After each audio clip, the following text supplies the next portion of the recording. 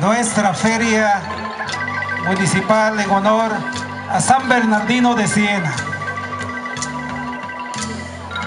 Entonces, a todos los presentes que se congregan en el Estadio Los Girasoles, hoy queremos darles la más cordial bienvenida a este lugar para apreciar algunos puntos y desde luego la actividad, deportiva posteriormente. Esto les ofrece el señor alcalde municipal y su corporación.